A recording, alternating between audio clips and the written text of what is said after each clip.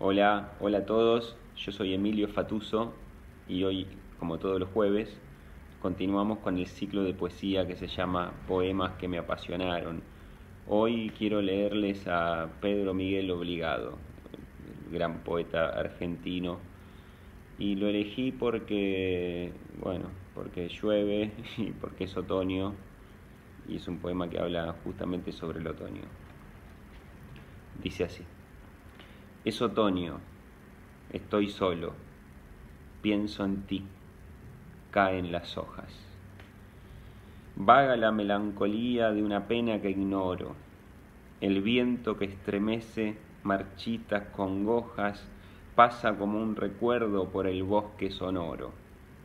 Es otoño, parece que un ensueño renuncia, que un desencanto esparce las efímeras galas una dorada pompa que a la muerte denuncia, con el follaje mustio forma una lluvia de alas.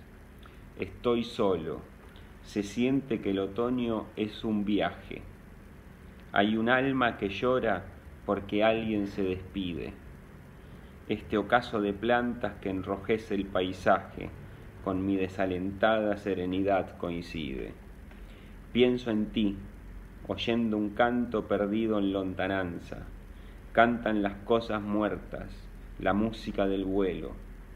Como mi amor caído conserva su esperanza, la floresta marchita quiere subir al cielo.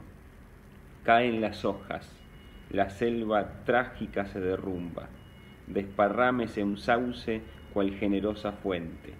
Las hojas más diversas tienen la misma tumba y entremezcladas ruedan en un mismo torrente.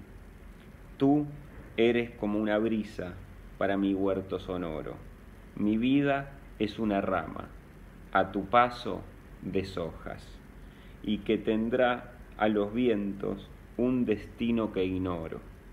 Es otoño, estoy solo, pienso en ti, caen las hojas.